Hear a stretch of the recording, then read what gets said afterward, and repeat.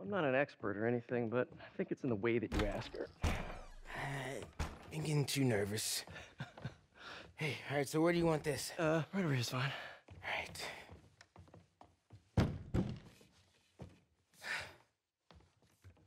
Hey, so Pete, Yeah.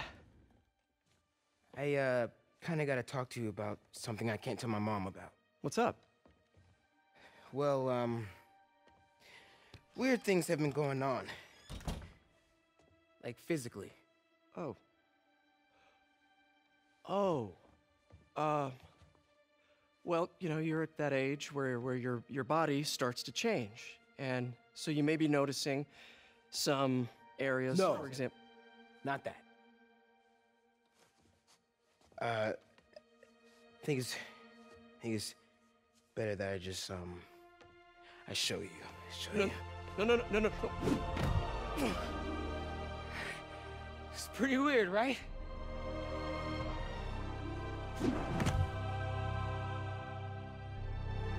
Not that weird.